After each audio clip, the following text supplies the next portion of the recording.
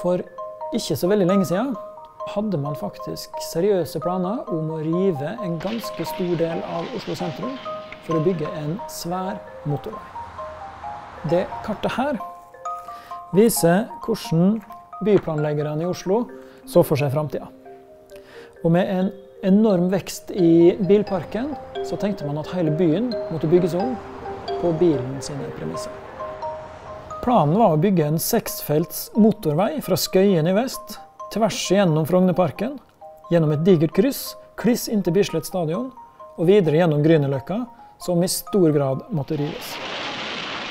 Byplankontoret kalte motorveien for en ikke altfor dominerende konstruksjon, og mente at den ikke kom til å være til plage for naboene.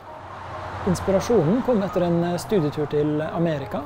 This is the American dream of freedom on wheels.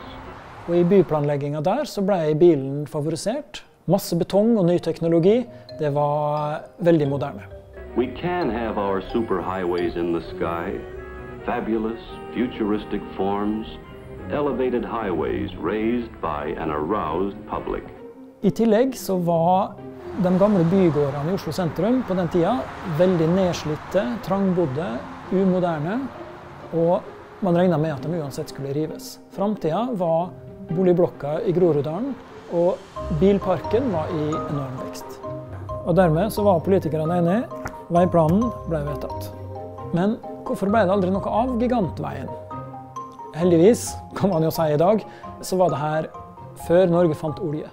Og et så stort prosjekt var rett og slett for dyrt.